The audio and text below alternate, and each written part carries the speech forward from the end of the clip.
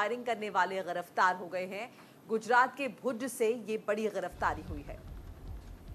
Mumbai crime branch ने गिरफ़्तार किया है। आरोपियों के नाम विकी गुप्ता और सागर पाल बताया जा रहा है। गुजरात के भूत से हुई है गिरफ्तारी। मुंबई क्राइम ब्रांच की टीम ने ये गिरफ्तारी की है।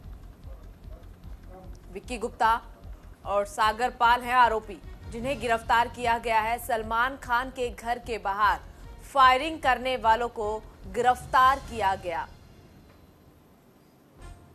और देखिए, जैसे ही ये खबर आई कि सलमान खान के घर, गैलेक्सी अपार्टमेंट के बाहर फायरिंग हुई है, उसके बाद सुरक्षा कड़ी कर दी गई थी और पुलिस जाँच में जुट गई थी, जिसके बाद अब आरोपियों की गिरफ्तारी हो गई है।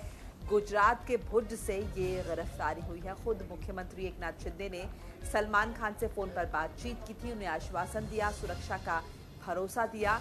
लगातार पुलिस जाँच कर रही थी और अब देखिए, मुंबई क्राइम ब्रांच को ये कामयाबी मिली है। विक्की गुप्ता और सागर पाल बताए जा रहे हैं ये आरोपी जिन्होंने फायरिंग को अंजाम दिया और इन दोनों को ही गुजरात के भुज से गिरफ़्तार किया गया है।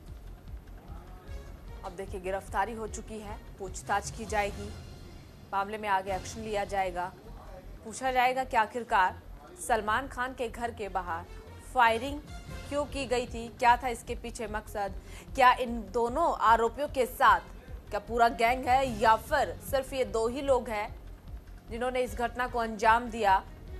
और इसके पीछे की वजह क्या रही? तो तमाम सवाल उठे थे जब सलमान खान के घर के बाहर फायरिंग की गई थी।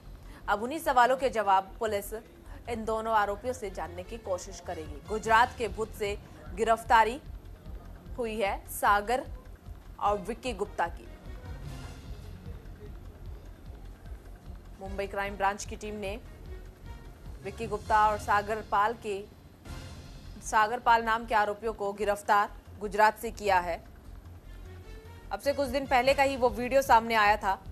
खबर आई थी जब सलमान खान के घर के बाहर फायरिंग की गई थी और सुरक्षा व्यवस्था बढ़ा दी गई थी। तब से ही मुंबई पुलिस टीम लगातार कार्रवाई में जुटी हुई थी। आरोपियों की तलाश की जा रही थी।